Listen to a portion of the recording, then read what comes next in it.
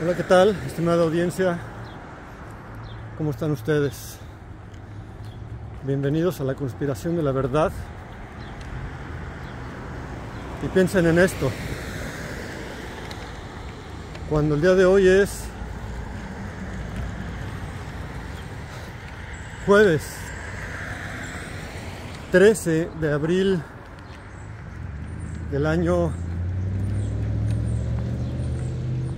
2023. Es exactamente la una de la tarde y estamos comenzando este video para todos ustedes.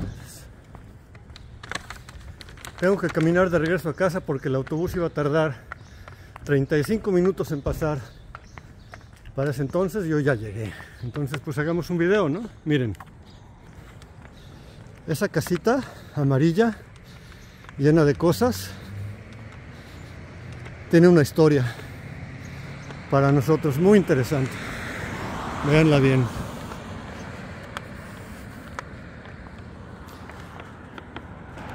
Estoy en pleno centro de la ciudad y pensé que sería bonito enseñarles un poco del, del vecindario donde vivo, ¿no? Aunque este no es mi vecindario realmente, pero pues la ciudad es tan pequeña que sí lo es. Y pues les voy a mostrar. Les voy a mostrar. Aunque se me está cansando la mano, creo que debería de usar el selfie stick en lugar de estar agarrando así el teléfono. Aunque no lo extienda hoy. Vamos a ver. Vamos a ver si mejor es así. Creo que sí. No voy a poner pausa, ¿eh? Hoy me voy a bloquear así. Voy a hacer toda la maniobra grabando. Y bueno, esa casa que les mostré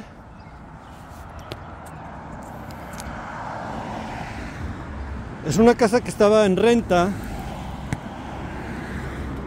en noviembre septiembre, noviembre de 2016. Fíjense cuánto tiempo ya pasó, ¿eh? Wow. Así para que vean para que vean los vecindarios, los barrios.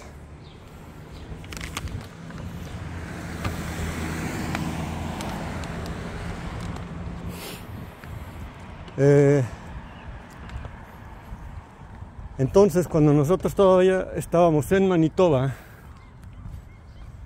mi esposa la encontró y la rentamos.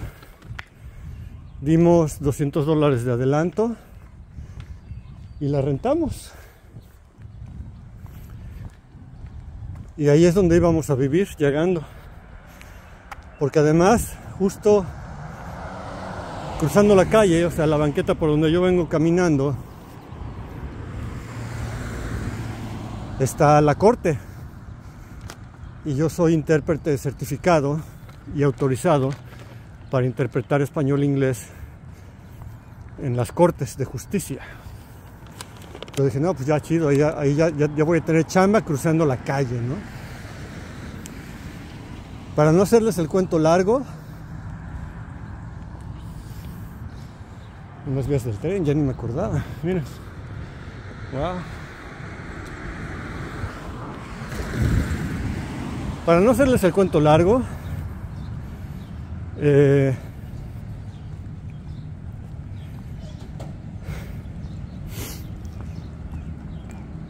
el dueño de la casa se echó para atrás, nos transó la lana y nunca más la recuperamos porque pues yo no quise hacer panchos. El problema es que cuando yo hago panchos, los hago de verdad. Y pues para mí es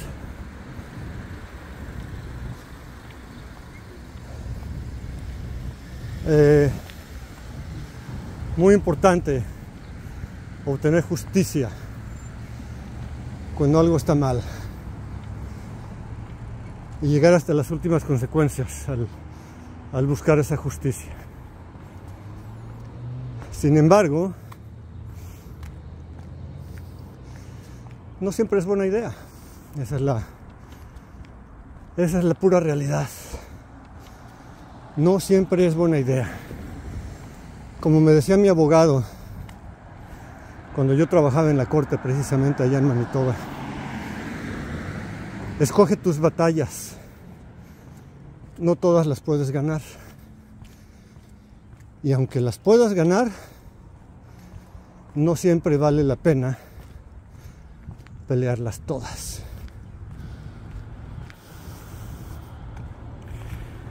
Y wow, qué razón. Qué razón tiene, ¿eh? muy sabio la verdad. Entonces esa es una de las batallas que yo decidí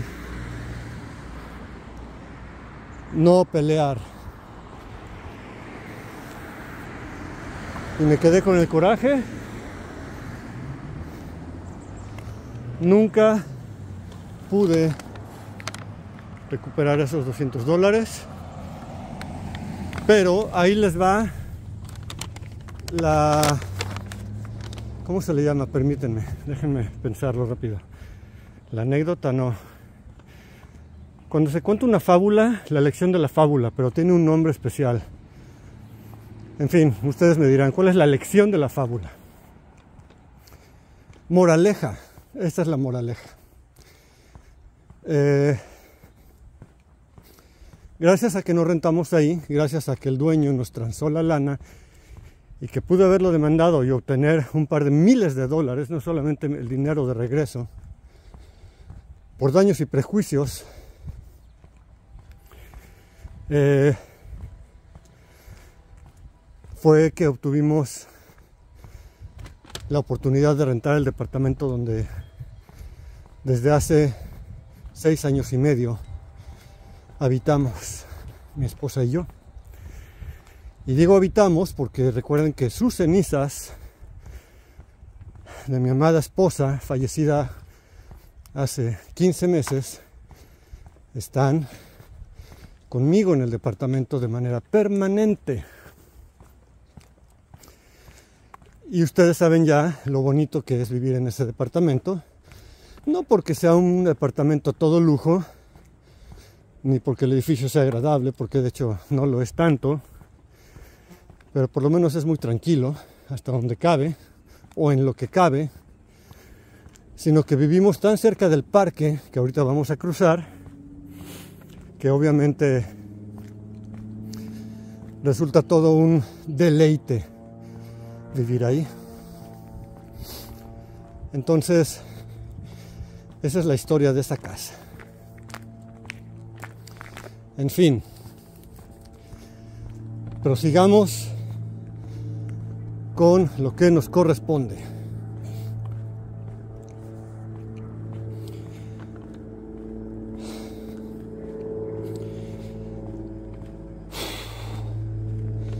Vamos a hablar de muchas cosas hoy de muchas, muchas cosas diferentes.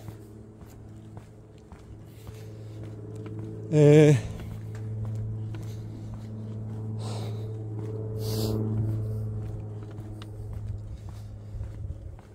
yo he tenido una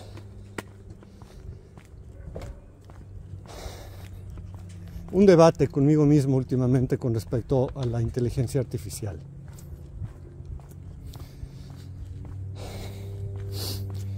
Yo siempre he afirmado que simplemente es inevitable lo que va a suceder con nosotros y la inteligencia artificial como humanidad. Y lo considero una evolución natural del ser humano. Aunque sea algo muy extraño y difícil de comprender. Yo creo que es totalmente natural y es hacia donde vamos todos. Hello.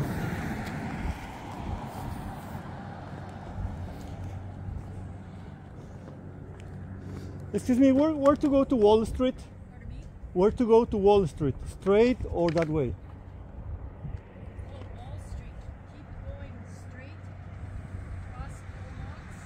Right. All right, thank you very much.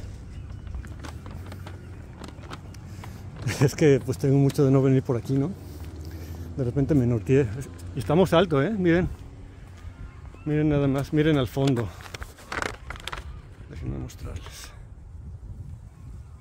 Ahí está la bahía, miren. Y la isla... La isla Newcastle, que ya no se llama Newcastle, pero no logro memorizar su nombre porque le pusieron un nombre aborigen. Yes. It, it's okay. Cleary is one block up, One block up and then right. and then when you cross uh, Bowen or Bowen. Road, it's called Wall Street. Right. The uh, curling rink is on the side, and it goes up the hill. Thank you very much. I'll do that. Perdonen. Bueno, ya, ya escucharon que ya me dieron la dirección correcta. Entonces, vamos a dar la vuelta. Vamos a, vamos a esperar un poco que se adelanten. Uy, miren qué vista, ¿eh? Miren qué vista. Esa es la isla Gabriola. Que de hecho hoy hubo orcas por ahí. Por ahí deben de andar ahorita. Pero pues hoy no tengo tiempo de ir a buscarlas. Ok, entonces yo siempre dije que la inteligencia artificial... Aquí hasta los terrenos baldíos son bonitos. la inteligencia artificial eh, es una evolución natural del ser humano. Y la existencia de seres cibernéticos que poco a poco van a ir apareciendo con partes mecánicas, partes electrónicas, como ojos, oído interno, eh, brazos y piernas, etcétera. Em, es parte de la evolución, porque así es como nuestra inteligencia ha evolucionado. ¿sí? Sin embargo, hoy hay un debate que ustedes deben de conocer muy bien, en donde se habla mucho de la amenaza que la inteligencia artificial representa para la humanidad entera. Y siempre se ha hablado de esa amenaza siempre. Siempre ha existido en las historias de ciencia ficción, tanto de literatura como de cine, videojuegos y televisión. Pero, eh, pues ahí está el debate, ¿no? Yo realmente no creo que sea un peligro Excuse me. Thanks for the tip. Entonces, eh, el debate habla de los riesgos que los algoritmos de la inteligencia artificial pueden tener en contra de nosotros. Miren qué bonito. ¿eh? Ups. Es que no quiero que me alcancen las viejitas que están atrás de mí, que fueron las que me dieron la dirección correcta. Y ya sé totalmente dónde estoy. Y yo siempre dije que la inteligencia artificial sí podría realmente decidir que somos una amenaza para el planeta porque eso es más que obvio. Pero también la inteligencia artificial podría decidir controlar esa amenaza y a través de un control absoluto de la población y de los sistemas que nos gobiernan, corregir todo lo que hemos hecho en los últimos 500 años como mínimo. Sin embargo, hoy, incluso los gurús de la tecnología y la inteligencia artificial hablan en contra de la extremadamente rápida evolución que está teniendo y abogan por una pausa en el avance tecnológico de esta inteligencia artificial. Pero yo encontré hace poco un artículo muy interesante que habla de algo que yo no había pensado nunca en realidad. Y se los voy a decir llana, clara y directamente.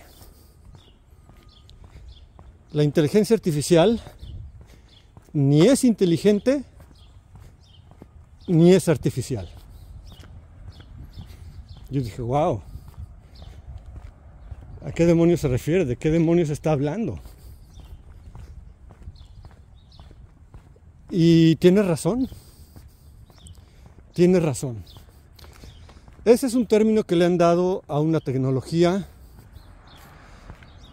para venderla, para promocionarla, para publicitarla cuando en realidad ni es una ni es otra.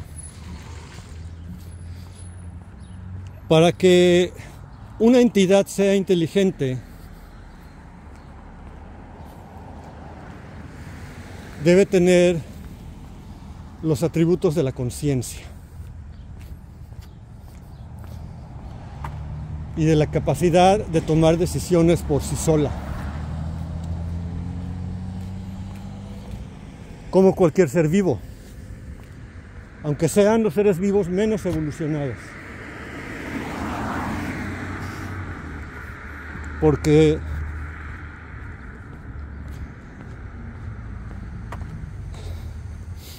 basta con que una mosca sepa reconocer que un pájaro se la quiere comer, que ha sido atrapada en una telaraña, que la mano de una persona la quiere aplastar para que su instinto de supervivencia a través de su inteligencia la haga volar. De igual manera, cualquier otro ser vivo, incluyendo nuestros instintos de reproducción, de alimentación, de descanso, etcétera, etcétera, etcétera. La inteligencia artificial no puede hacer eso. La inteligencia artificial toma decisiones a través de la alimentación de información y datos que nosotros le damos. Nosotros somos el único ambiente que la inteligencia artificial tiene para reaccionar a todos esos estímulos exteriores o externos. Más allá de lo que nosotros lo alimentamos, hasta la inteligencia artificial más avanzada sigue siendo incapaz de tomar conciencia y aprender rápidamente de otros factores externos. llega un momento en el que ya no puede retroalimentarse más, porque ya no tiene la capacidad de hacerlo. Hay un avance muy profundo en eso, en esta tecnología, pero todavía no obtiene conciencia de sí misma, todavía no. Y la inteligencia artificial no es artificial.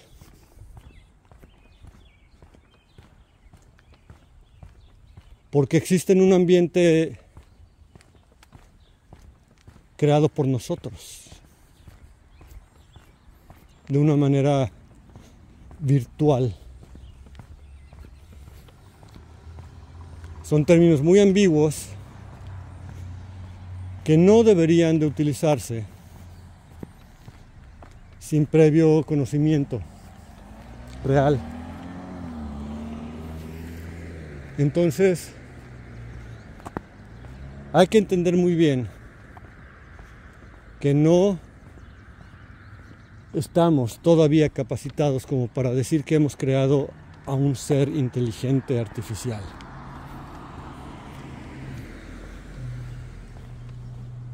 Ahora,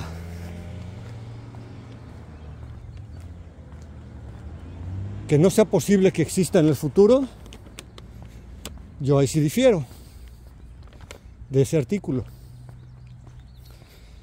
Yo creo muy bien que si esta tecnología sigue avanzando, va a llegar un momento en el que sí va a tomar conciencia de sí misma. Pero para eso necesita tener la capacidad de obtener energía independientemente de nosotros. Y todo eso requiere no solamente tomar control del Internet, como, como lo plantea la película, la franquicia de Terminator, por ejemplo, sino que en algún momento tendría que, como en esa franquicia también, tener la tecnología suficiente para crear seres robóticos o sintéticos que le proveyeran de energía permanente. Y aún así, la inteligencia artificial, como un dios, como un ser superior, que podría decidir el destino de la humanidad, estaría supeditada a la naturaleza misma. ¿Y a qué me refiero? A que un cataclismo como una tormenta solar de magnitudes catastróficas terminaría con su existencia.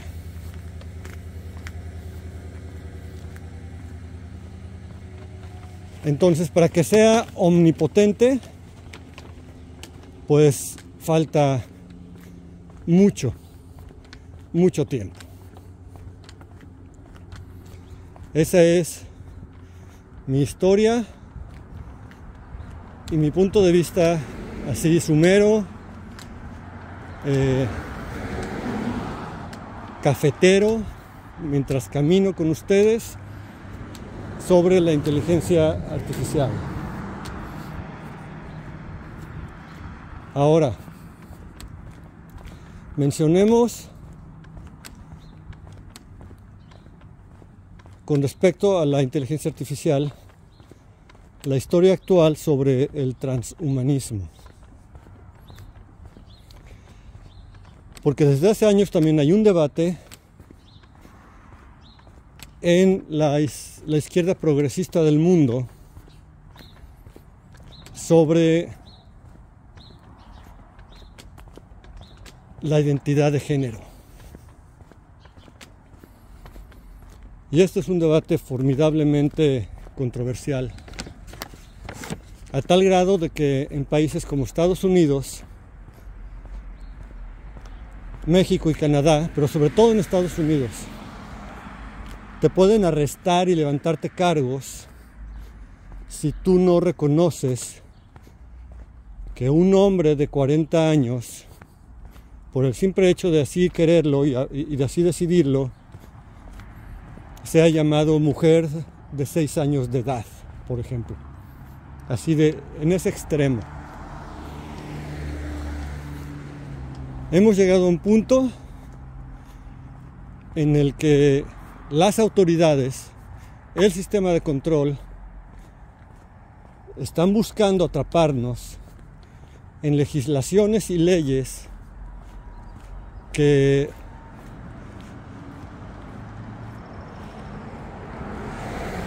nos obliguen a reconocer a cualquier persona como la persona desee identificarse, sin importar que sea.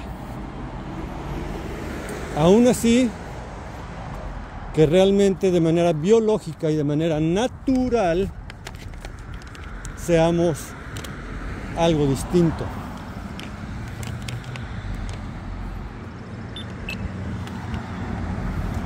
Y eso es gravísimo. Ya llegamos al parque. Este es mi parque, miren, ahí enfrente, a contraesquina.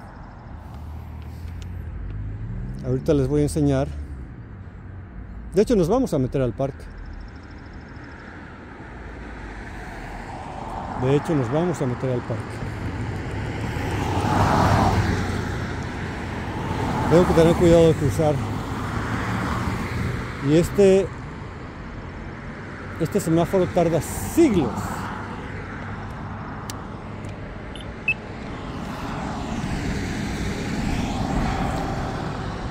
Entonces, eh, yo estoy muy, muy preocupado por este debate que ya se ha convertido en algo legal.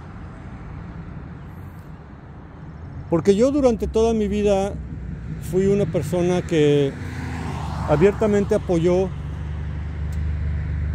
la diversidad sexual, la diversidad social, la diversidad de clases, etc. Pero esto ya se salió de control.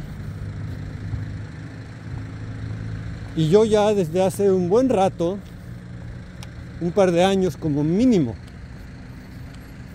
he decidido separarme por completo de, esta ideología, de estos movimientos y ya no los apoyo. Había decidido simplemente ignorarlos y eso es lo que voy a hacer. Pero para mí no basta con ignorarlos. Tengo que rechazarlos. Aunque por el momento mi rechazo es únicamente ideológico y ni siquiera me estoy involucrando en debates de redes sociales al respecto, ni mucho menos. Esta es la primera vez que hablo públicamente al respecto. Había yo posteado algunas cosas en redes sociales, pero las borré porque decidí que no valía la pena meterse en problemas, porque esto ya se volvió un fascismo de izquierda progresista, en donde no aceptan ya el punto de vista contrario a lo que ellos quieren imponer. Y eso está muy grave. Y el tema es tan complicado que ahora que decidí tomarlo durante esta caminata, ni siquiera me siento preparado para especificar detalles de lo que quiero decir, de lo que ha estado sucediendo en esta situación. Porque realmente es grave, muy grave. Aquí en Canadá un menor de edad puede decidir cambiar de sexo. incluyendo ser amputado en sus, en su, en sus partes sexuales.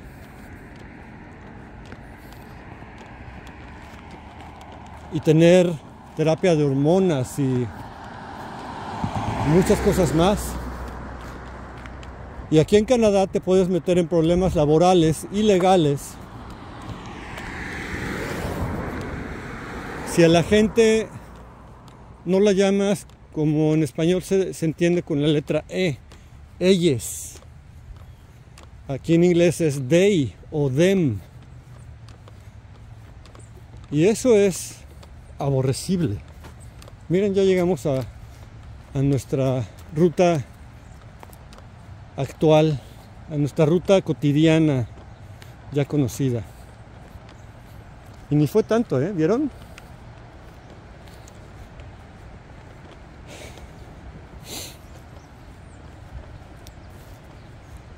Y se están apoderando de todo. Ya no están permitiendo, dentro de sus propios principios, se están contradiciendo, porque ya no están permitiendo que otras personas piensen diferente a ellos. Y sí, señoras y señores, digo ellos, porque en español es la manera correcta de mencionar a ambos sexos. No me pregunten por qué. Así están dadas las reglas de lingüística y en español y son correctas. Y si de esta manera la gente que pertenece a estas minorías, a la comunidad lésbico gay, a los no binarios, a los trans, a todas esas partes nuevas de la sociedad, que obviamente no son nuevas, ni mucho menos, pero que ya están abiertamente tomando el control de todo.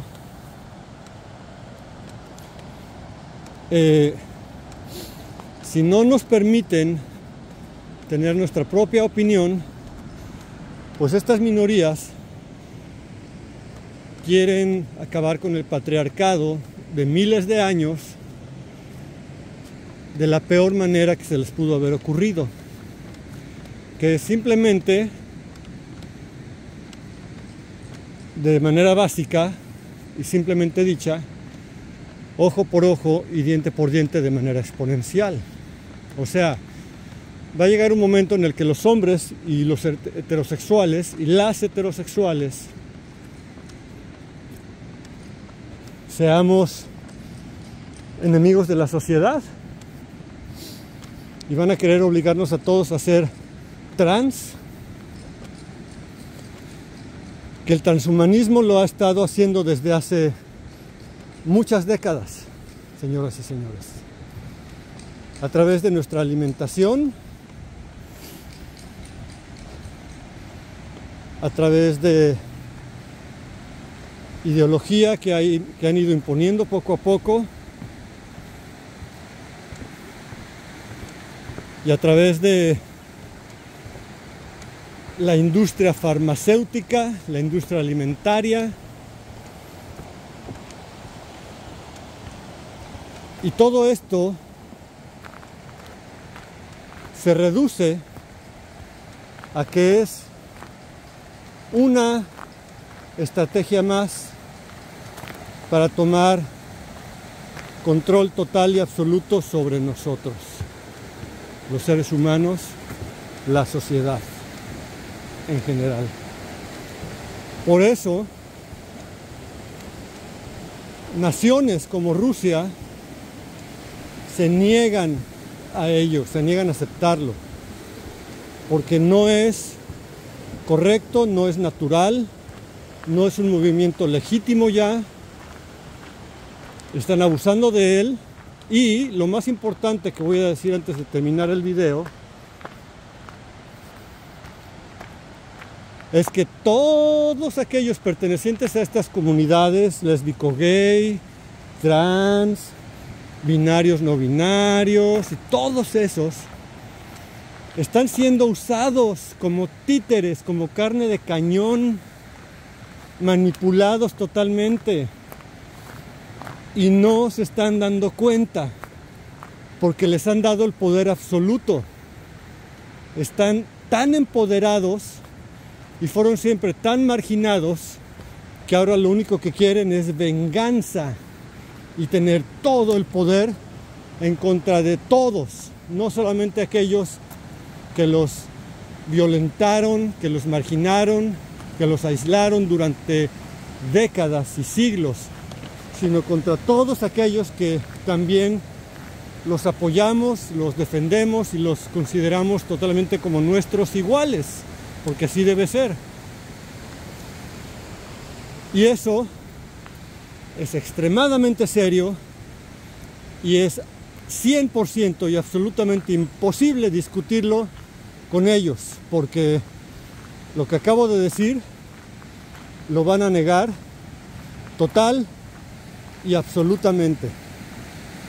Nadie en su sano juicio va a querer admitir que ha sido manipulado en su totalidad por un sistema de control a través de mentirles y jugar a que les dan control y poder para después simplemente aplastarlos cuando ya no sean útiles. Ese es mi comentario de hoy. Según yo iba a hablar de Ucrania y no dije ni una sola palabra sobre ello. en fin, recuerden por favor darle like, pulgar arriba, darle me gusta, activen su campanita, suscríbanse a aquellos que no lo han hecho y por favor comenten sobre esto, es muy importante. Estos dos temas son extremadamente serios y de hecho tienen correlación el uno con el otro. Así que por favor, apoyen el canal, ayúdenme a que continúe creciendo y comenten sobre esto.